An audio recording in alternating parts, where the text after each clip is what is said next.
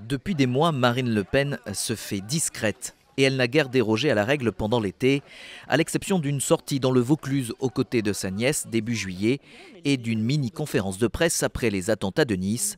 Rien de plus. Tout à l'heure, elle s'exprimera depuis Braché, petit village d'une cinquantaine d'habitants. Puis deux grandes émissions politiques sont prévues à l'agenda dans les prochaines semaines. Entretenir encore et toujours la rareté médiatique. Il s'agit en réalité pour Marine Le Pen eh bien, de, solenniser aussi sa parole de candidate euh, par cette, euh, en, la raréfiant un petit peu. Euh, et puis, encore une fois, d'avoir la disponibilité personnelle, physique, intellectuelle pour aller rencontrer les Français discrètement sans forcément être accompagnée par les caméras de télévision.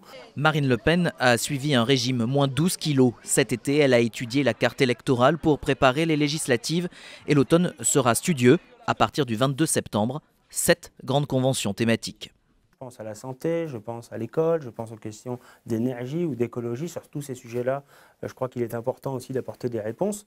Marine Le Pen ne compte pas en rajouter sur les thèmes de prédilection du FN, immigration, islam, chômage, et préfère laisser les autres partis reprendre ses propositions. Mais d'ici là, la candidate aura d'autres problèmes à régler. Le financement de la campagne et au chapitre judiciaire, la confrontation en octobre avec son père qui réclame sa réintégration au Front National.